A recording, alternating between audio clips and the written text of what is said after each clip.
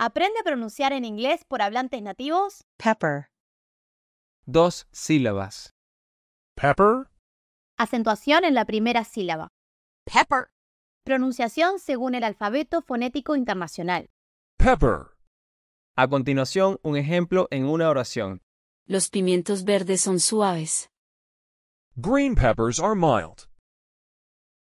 Ahora va un ejemplo de la vida real. Primero sin subtítulos y luego con subtítulos. Um, I had a dog named Pepper. I had a dog named Paprika. I had a dog named Salt. Um, I had a dog named Pepper. I had a dog named Paprika. I had a dog named Salt. Um, I had a dog named Pepper. I had a dog named Paprika. I had a dog named Salt. Si te ha gustado este video, imagínate todo lo que aprenderás dentro de esta guía de Aprende Inglés en Español nivel básico 1, donde encontrarás más de mil palabras con sus respectivas pronunciaciones referentes a diversos temas.